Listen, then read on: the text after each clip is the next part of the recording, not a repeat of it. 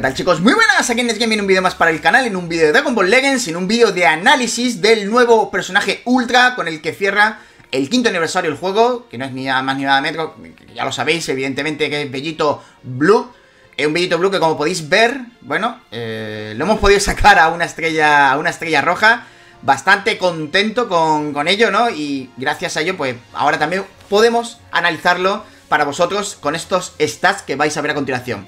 El personaje, ¿vale? Va a determinar, va a definir, mejor dicho, el metajuego del PvP en los próximos meses, meses, y muchos meses probablemente, como ha sido Black. Veremos a ver hasta qué punto este define eh, también ese meta, ¿no?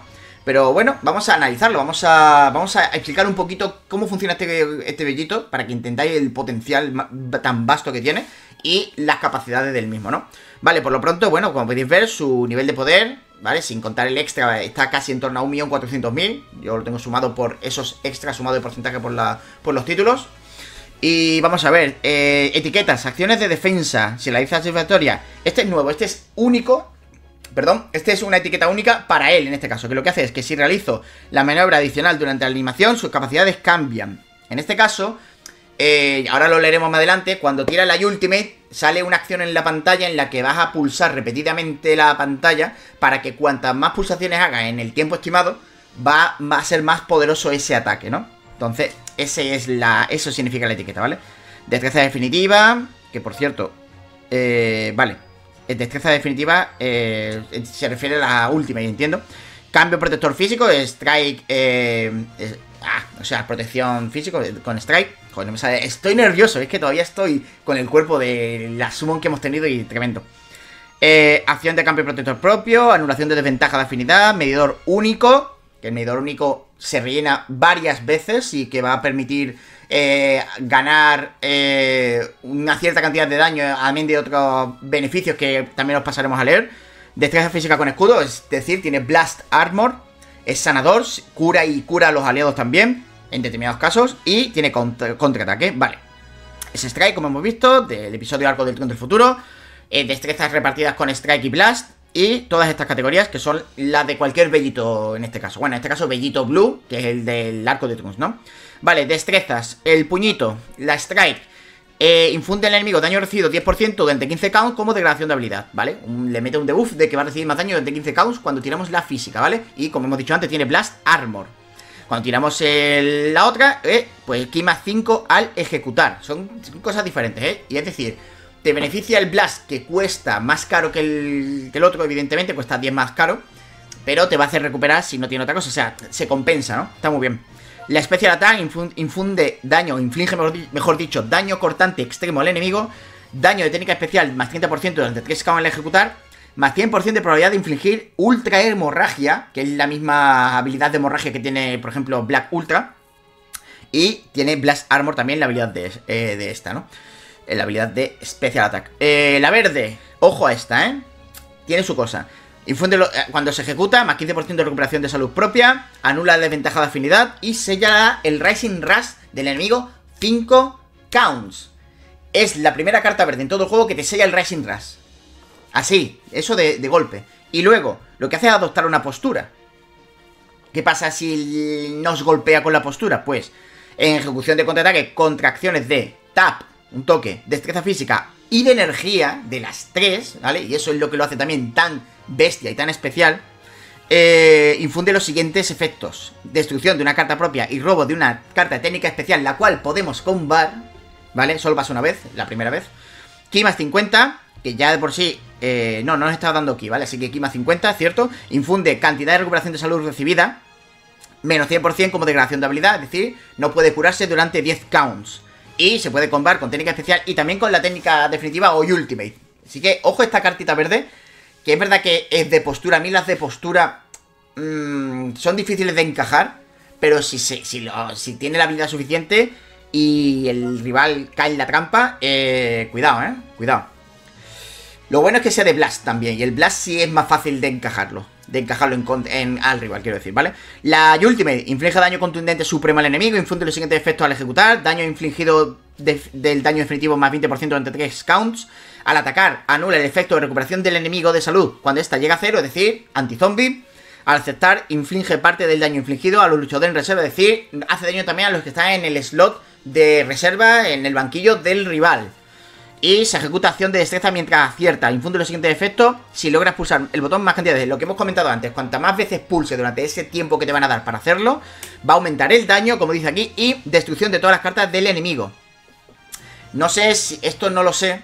Si destruye una, dos, tres o cuatro cartas en función de la cantidad de veces que eres capaz de pulsar. Eso no lo sabemos todavía, o al menos yo no lo sé todavía, ¿no? Bueno, y tiene Blast Armor, ¿no? Como hemos dicho las anteriores. Y las habilidades. Bueno, la principal, la main ability, destrucción de una carta propia y roba la, carta de destreza definitiva, o sea, la ultimate. Eh, recuperamos 30% de salud y Kima 50. Cancela degradaciones de habilidad y estados alternos propios, o sea, nos limpiamos de buffos, de debuffo, perdón. E infunde un refuerzo de habilidad propio que debilita un 50% el efecto de reducción de daño recibido del enemigo. Es decir, si el enemigo tiene una reducción de daño, se lo reducimos a su vez un 50% menos para hacerle más pupita, más daño. La habilidad Ultra, que la tienen todos los personajes Ultra, ¿vale? Si lo ponemos de líder, más 30% de daño y más 30% de velocidad de regeneración de ki. Y si lo ponemos de compi en vez de líder, más 5% a todos los guerreros fusionados, más 5% de daño. Y más 5%, de velocidad de regeneración de ki. Es el tercer eh, personaje, es el tercero, ¿verdad? Uno, dos, tres... No, es el cuarto personaje ultra fusionado, de guerrero fusionado. Llega un punto en el que ya como todos tienen esta habilidad de más 5%, si no eres líder, ya sumando, sumando, estaríamos hablando de que le sumarían, si tuviéramos los cuatro ultras en el mismo equipo, 20% al líder, más 20%, más, perdón, más 15% los tres restantes que están en el banquillo. Lo que haría que el líder, en tal caso, llegara a un máximo ahora mismo de 45%. Si no me estoy equivocando, y los cuatro personajes son de... Eh, le dan la habilidad de guerrero fusionado, ¿vale? Creo que sí. Vale, eh, bueno, la habilidad Z, ¿vale? Eh, en el caso de tenerlo una roja es más 3% para guerrero fusionado y ataque defensa físicos básico más 38 para guerrero fusionado o futuro. Vale, evidentemente esto ya sabemos a lo que está enfocado. llevarla al máximo de estrellas rojas es más 5 y más 42 respectivamente a las habilidades que hemos comentado con anterioridad. Habilidades únicas. Aquí viene la chicha del personaje. Vale. Primero, infunde los siguientes efectos al comienzo de la lucha. Daño más 150, así, de gratis pega como Cristo, vamos. Daño físico infligido más 30% para el daño de, Strike. Daño recibido menos 70%. Estas que hemos leído de forma inamovible, no se pueden alterar. Velocidad de robo de cartas más 1, también inamovible. Y luego velocidad de robo de cartas más 1 durante 30 counts. Es decir, el inicio va a ser un inicio fulgurante en cuanto a hacer un combo largo. Porque tenemos más 2 de velocidad de robo de cartas. He visto combos muy bestias, ¿eh? Con este personaje. En plan, robo cartas, robo cartas. Y además que el ki lo va medio recuperando si hay blast de por medio. Las cartas, los costes, eh, como habéis visto, se reducen en menos 5. Así que las cartas de strike van a valer 14. Está, está cachondo, ¿eh? Está bastante cachondo. Eh, infunde refuerzo de estado que anula el efecto de restar FEDA del dragón del enemigo durante 60 count. Es decir, no nos pueden quitar Dragon Balls con habilidades del rival. Eso está muy bien para asegurarnos el Rising. Infunde refuerzo de estado que anula el efecto de restricción de cartas. Es decir, durante los 30 counts primeros no, bueno, donde tengamos primero o cuando entramos en lucha, no nos pueden tampoco eh, tirar las cartas que tenemos en mano en ese momento. Y aparte también infunde los siguientes efectos cuando entramos en la lucha, robamos cartas de destreza física, está perfecto para continuar el combo si venimos cambiando. Velocidad propia de regeneración de ki más 20%, infunde anulación de la acción principal del enemigo durante su cambio de protector como refuerzo de estado propio, es decir, no anti-strike, anti-cover, perdón. Sella la cadena devastadora enemigo 5 segundos. Metemos al personaje y no puede hacer Rising Rat durante 5 segundos. La misma habilidad que tiene la carta verde. O sea, podemos de dos maneras diferentes anular el Rising del rival. Y esto está muy interesante. Reduce a cero el medidor de evanescencia del enemigo una vez. Es decir, si el personaje... Empezamos con el personaje en la partida o lo metemos la primera vez desde el banquillo, el, el, el Vanish no lo va a tener. Eso está muy bien porque el, truquillo, ¿no? De hacer que no pueda esquivarnos y podamos encajarle el combo en la medida posible. Así que, muy pro estas habilidades para empezar, ¿eh? Y todavía queda mucho más. Además, cancela degradaciones de habilidad y estados alterados de aliados si hay tres luchadores enemigos vivos. Si en ese momento no nos hemos cargado ninguno, se limpia también. Infunde los siguientes efectos cada vez que confrontamos un enemigo. Es decir, si el enemigo hace un cambio, por ejemplo, y entra otro, ki más 30, al enemigo probabilidad de crítico menos 15% como agregación de habilidad. O sea, vamos a tener un 15% más de probabilidades de que los ataques que le peguemos sean críticos. Sella las destrezas de técnica especial del enemigo. Eh, y no pueden ser ejecutadas durante 3 counts, así que genial. Le frenamos la cometida. Eh, infunde los siguientes efectos cuando recibo un ataque de destreza al enemigo si tengo 50 o menos por ciento de salud cuando estoy en lucha y solo una vez. El 30% de recuperación de salud. Anula desventaja de afinidad del daño recibido 30 counts. Esto es muy bueno contra enemigos de color azul, porque nos va a dar exactamente igual lo que esté por delante. Te agrega una esfera del dragón, Dragon Ball gratis, y cancela lo. Bueno, limpia de bufos. ¿Vale? muy bestia todo lo que he leído, muy bestia todo lo que, lo que después en ejecución dentro del combate es capaz de hacer. Luego, el enemigo sale despedido de lejos y ejecuta un cambio protector físico, o sea, un cover... Ay, sí, un cover... No, un cover no es la palabra. Ay, o sea, el... El strike de este, o sea, te pega strike, tú coges, pum, se lo devuelves. Vale, joder, no sé. Y es compatible con técnica especial. Aumenta el medidor único cada vez que uso carta de destreza cuando estoy en lucha. Cualquier tipo de carta nos aumenta el circulito, la barra de circulito. Y cuando está al máximo, pasa lo siguiente. Robamos carta de destreza física, más 10% de recuperación de salud y ki más 50, daño infligido más 30% durante 15 count, velocidad de regeneración de ki más 40% durante 15 count e infunde anunación de acción especial. Es decir, no cover change al enemigo durante 5 counts. Y esto es cada vez que el circuito se rellena, porque se rellena, se vacía, se rellena, se vacía. Genial, todo, todo bien. Luego, infunde los siguientes efectos cuando ejecuto cadena devastadora. Me agrega una Dragon Ball. Es decir, y si estoy en lo cierto, tiramos la Racing Rush y cuando la Racing Rush se ejecute, le demos o no le demos al rival, vamos a tener una Dragon Ball ya para ayudarnos a tener la, siguiente Racing Rush lo antes posible. Velocidad de regeneración de Ki más 40, anula la desventaja de durante 10 counts. Esto viene bien en lo defensivo. Eh, bueno, en lo ofensivo quiero decir, perdón. Eh, y al atacar, anula el efecto del enemigo de recuperación de salud cuando este llega a cero. Es decir, si tiramos la Rising, si tiramos la Rising y le damos y lo matamos y es zombie, no se cura el zombie. Eh, o sea, genial todo. No hay zombie que valga. Y, si abatimos a un enemigo, pues nos rellenan el banis al 100% y, menos, y 10% de recuperación de salud para los aliados, que es el momento en el que los aliados se van a curar.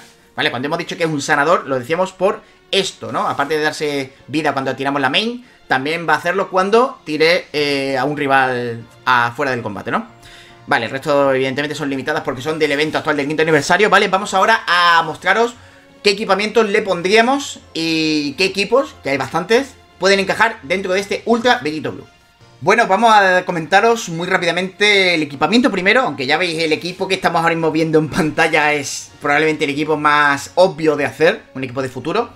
Pero vamos a empezar primero por el, equipamiento y vamos a empezar primero por lo que nos recomienda el juego, porque el juego nos recomienda lo que estáis viendo ahora mismo por aquí, ¿vale? Alguna cosita yo puedo estar de acuerdo, y de hecho lo estoy, ¿vale? Que es, por ejemplo, esta de aquí, esta de aquí, de hecho, la tenemos nosotros, como podéis ver, y la verdad es que creo que le va como anillo al dedo, sobre todo porque da un ataque físico de hasta el 35%, que va, perfecto. Aparte, gana una cantidad de defensa interesante, lo cual, pues, no le viene nada mal. Y bueno, y aparte arriba, pues, tiene una probabilidad de crítico mayor, que para el daño que hace es perfecto, y velocidad de regeneración de ki, que no le va a faltar, desde luego. Esta, para mí, es una de las obligadas.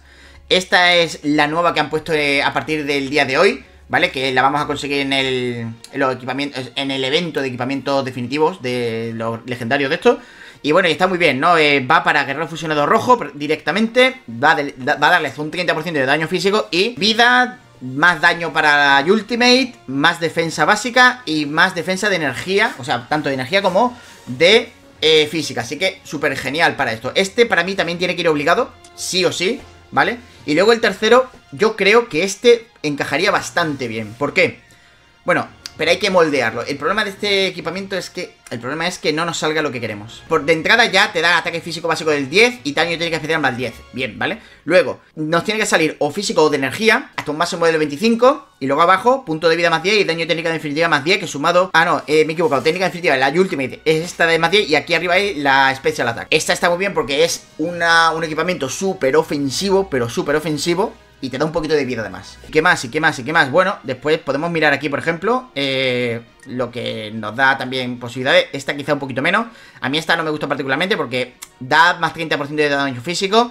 Aquí le resta un poquito de defensa de energía básica, no mucho, pero bueno.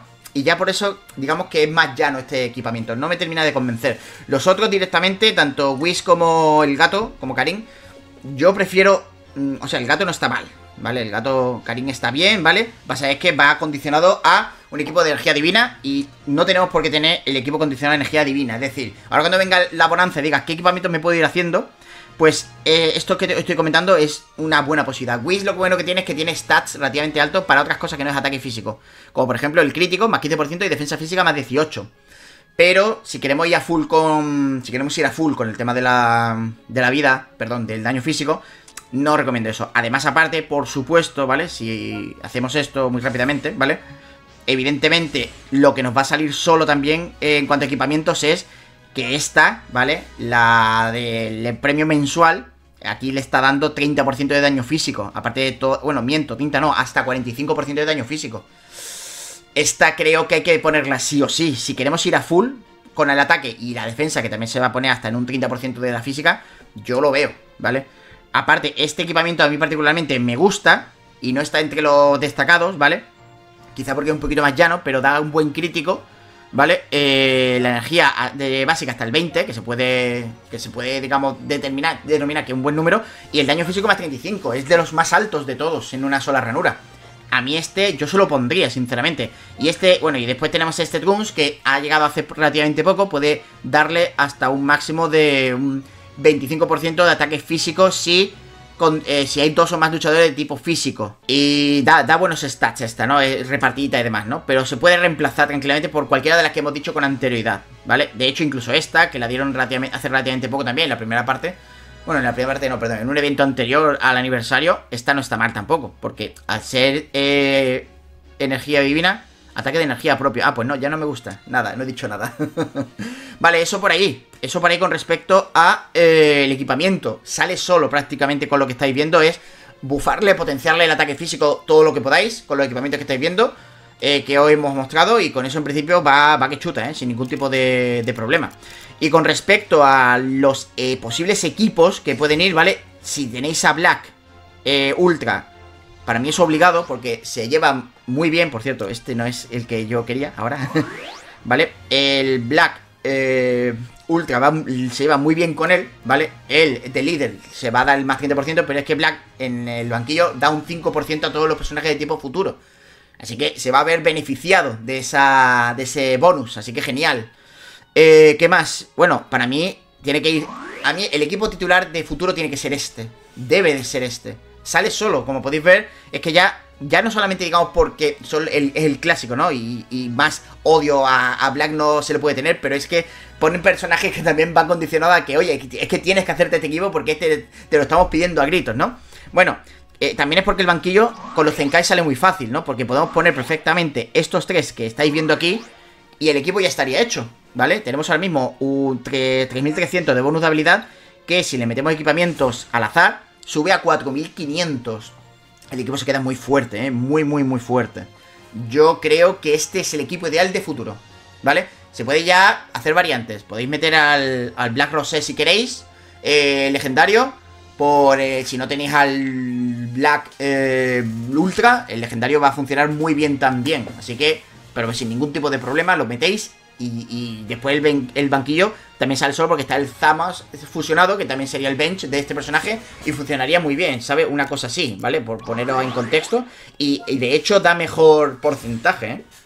Se queda en 5.000, se queda en 5.000. Evidentemente tengo a 14 a Black y mm, se beneficia más los personajes eh, que, el, que el Black Ultra porque no lo tengo tan alto. Pero con esto, pues también yo creo que iría de lujo, pero de lujo, ¿eh? De verdad lo digo. Vale, esto sería un equipo de futuro, tranquilamente. También está la alternativa del Trunks, que como tiene Zenkai, ¿vale? Se lo podéis poner tranquilamente y puede funcionar, ¿eh? Puede funcionar también bastante bien, ¿vale? Estoy hablando de este de aquí, ¿vale? Y no habría ningún problema al respecto. Así que también lo tenéis como posibilidad. Quedando el equipamiento, pues también en torno a unos 5.000, un pelín menos, pero bastante, bastante OP. ¿Vale? Esto sería un equipo de futuro, ¿vale? Evidentemente otro equipo que sale solo es el equipo de fusiones. Y es que el equipo de fusiones tiene una de las incorporaciones más interesantes que ha tenido en mucho tiempo. Hace mucho que no salía un personaje bueno en fusiones, pero bueno de verdad, ¿eh? ¿Por qué? Porque tenemos... Evidentemente tenemos también más ultras, ¿vale? Y tenemos, por ejemplo, a este, a Gogeta Blue. Que si ya estabais diciendo dónde está Gogeta Blue, pues volverá también a verse en, en el juego. Gracias a su, a su nuevo amiguito, que se va a llevar muy bien, por cierto. Y a partir de aquí, pues ya podéis montar el, resto del equipo tal y como más os guste. En este caso, en este caso, eh, quizá, pues no me sale otra cosa que meter a lo mejor, ahora mismo con lo que tengo, porque lo interesante sería probablemente el tercero meter a Super Bellito, que yo no lo tengo, ¿vale? Super Bellito no está, pero eh, quizá el Super Cogeta, por aquello de, pues a lo mejor lo hace la bio. Ya se ha quedado un tanto desfasado. Defensivamente es verdad que no funciona muy bien. Super Bellito tiene más truquillo. Yo creo que Super Bellito va a funcionar mejor. Pero bueno, esto también es factible, ¿vale? Vamos a, como no tenemos a Super... Como no tenemos a Super Bellito, lo dejamos así y pondríamos ahora, evidentemente, a Super Cogeta de Zenkai para el nuevo. Para el morado, pues Super Bellito, por supuesto. Y el azul, si tuviéramos el amarillo, podríais meter perfectamente a eh, Gotenks, por ejemplo, que se va que se creo que se beneficia Gotenks del Super Bellito amarillo, a ver. Quiero verlo para confirmarlo. Ahora. Sí, guerrero fusionado, perfecto. Podéis meterlo si tuvierais a Super Bellito, pero si no lo tenéis y queréis meter a este, pues también podéis meter, por ejemplo, a este Zenkai y hace la bio perfectamente también. Eh, estoy mirando, estoy mirando, estoy mirando porque también a lo mejor os interesa, ¿vale? Coger y meter a lo mejor a este de aquí, ¿vale?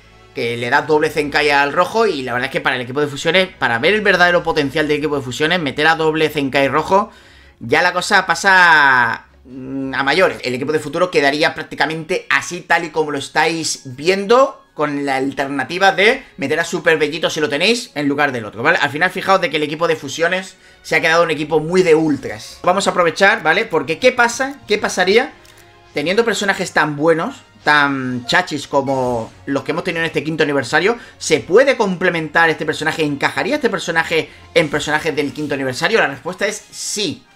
Pero, con una condición, ¿vale? Eh, sería interesante mantener este de líder. Entonces, ¿qué pasa? Pues yo haría eh, dos posibles equipos aquí. O un equipo de eh, Torneo del Poder con Goku y Freezer, que tiene que ir sí o sí, pero sí o sí, ¿vale? Y el tercero ya, yo a Jiren ya no lo metía. Lamentablemente Jiren con Bellito Blue en PvP, en las mesas de PvP, va a ser un problemón, ¿vale? No lo recomiendo.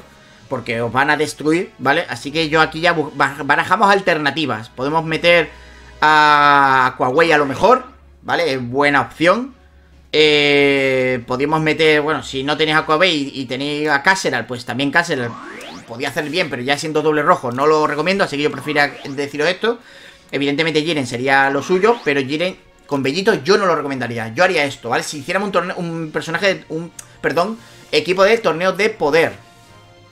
A partir de ahí ya el tema está en qué ponemos. Vamos a mirar bien, perdonadme, vamos a mirar bien el equipo del torneo del poder o representantes del universo.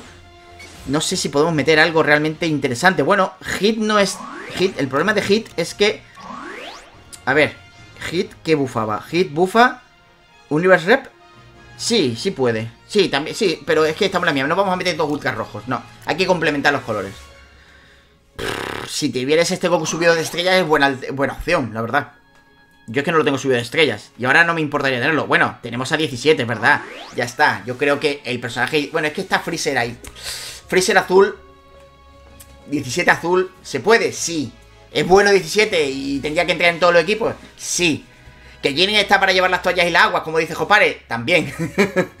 Pero teniendo a Freezer ahí, en teoría, que es el que te va a carrilear el azul, yo soy más partidario de meter algo diferente. Y lo único que me pide el cuerpo diferente es algo verde. Porque algo morado también está Goku ahí, rojo no, tiene que ser verde o amarillo. Y amarillo no lo vas a meter. Así que lo, lo ideal para complementar bien el equipo, particularmente pienso que esto es lo ideal. Y luego tenemos ya, pues lo que viene siendo, pues el banquillo. El banquillo, pues bueno, el Zenkai... Zenkai para, para, este, evidentemente, tiene que ser este sí o sí. Eh, yo pondría a este, porque también se va a beneficiar precisamente de la vida Bellito Blue, así que no está mal, ¿vale? El, el, problema es que este no le va a dar el Zenkai, evidentemente. Entonces, para ganar vida sí, pero necesitamos que sea Universe Rival, Rival Universe, perdón, entonces no. Eh, Zenkai verde, este Jiren. No, este Jiren no, perdón. Tendría que ser... No sé qué Zenkai verde hay para el Goku este. Es que ya aquí la cosa se pone un pelín complicada. Mm, no sé, no sé, no sé.